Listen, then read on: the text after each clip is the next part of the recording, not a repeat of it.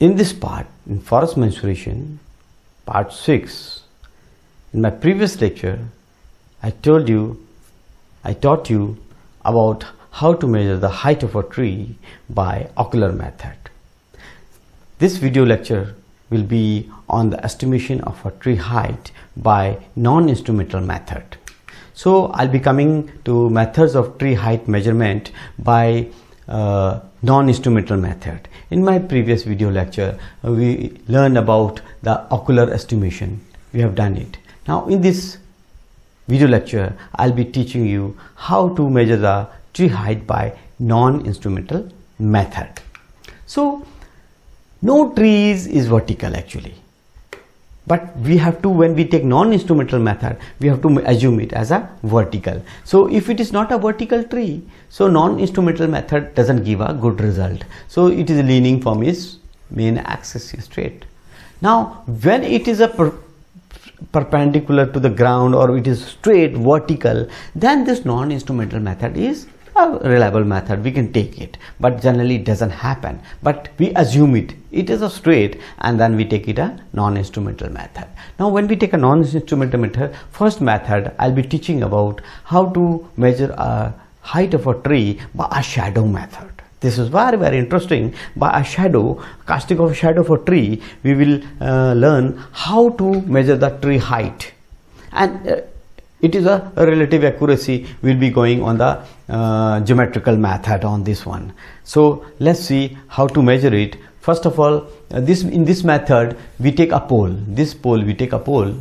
This pole uh, we take of any convenient uh, length we can take.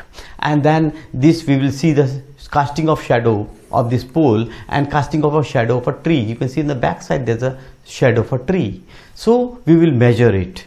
How to measure it a small uh, this diagram if you see this is a tree a b this is a tree height. Actual height is this a to b. This is the actual height of a tree. This is the actual height of a tree. Now this is a shadow here. Casting that is c to b is a shadow here this one. So and this is a, a convenient uh, pole we will uh, put one pole while making a convenient pole uh, we will put in the ground and then we'll see the shadow of this one also. So DE is a pole length and this is FE is the pole shadow. So we will put the value here. Tree shadow whatever the value of tree shadow will come we'll put it here. BC into DE DE is the pole length here and FE divided by FE is the pole shadow here. We will get the height of a tree by shadow method. But this shadow method we should not do uh, in the middle like 11 or 12 pm when the sun is on the upright. We should do in the early morning or we should do in the evening when shadow is casting long one. Let's see in the field as better to have a uh, demonstration uh, how to measure the tree height by shadow method so today we will learn how to take the height of a tree of a shadow method by shadow method. So you can see this tree uh, tall tree and you can also uh, see the shadow here.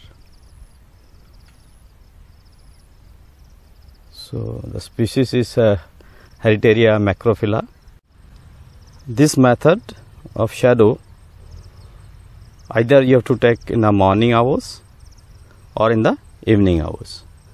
When the shadow is casting long enough.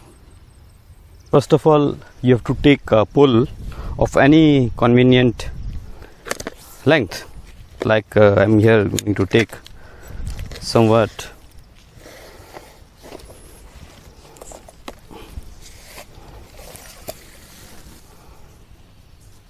somewhere a length of 2 meter.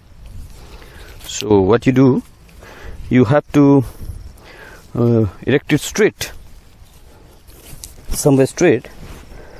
It should be perpendicular to the ground. Yeah like this. It should be straight. So that you cast this shadow here uh, and you have to take this as 2 meter and we'll take how much the casting of uh, this shadow has the length So we'll measure this one. Now if you see the shadow here, we can see the shadow is casting here somewhere here. And if we measure the length of the shadow, Okay. it is 1.40 so we have a length of this uh, pole of 2 meter and the shadow is casting 1.40 so now is the time to measure the shadow of this uh, tree Uh, what is the shadow of this tree from the base of the stump so let's measure the shadow of this tree from the base of the stump then we'll calculate the height of a tree by a shadow method So, as Dr. Singh is going to measure the uh, shadow of a tree, so as already uh, Dr. Singh has told that the pole length was 2 meter and the shadow of the pole uh, we got around uh, 1.40. So, this is the formula as a height of a tree. I told you AB to measure that one we need a length of the and uh, then length of the pole and the shadow length so we are getting this uh, uh, pole length as 2 meter and some has inserted down above that one is 2 meter and we are getting this uh, uh, 1.40 as a shadow. Let's see what we are getting the shadow length. As uh, dr singh is measuring that one the shadow length uh, yeah. Dr singh yeah. 18 18 meter. Okay. So we are getting 18 meter here. 18 meter is the shadow length. So this is very simple so we can calculate 18 into 2 divided by 1.4 it comes around 25.71 so this is the uh, height uh, of a tree by a shadow method.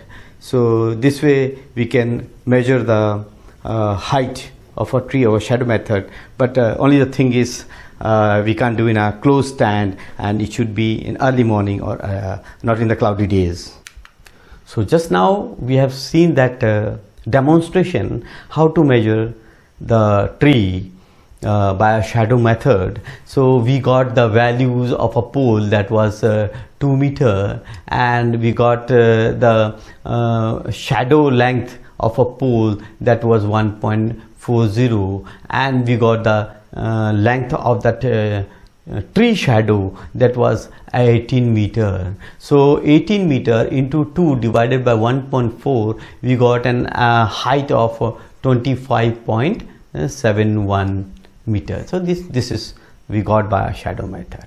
Uh, but there are some constraints. As i say you have to apply on a clear sunny days. This is very important. Because when there is a cloud we will not have shadow on cloud.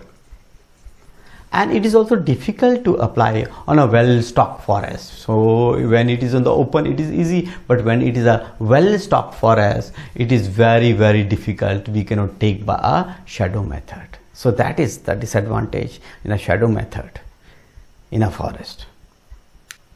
So thank you very much.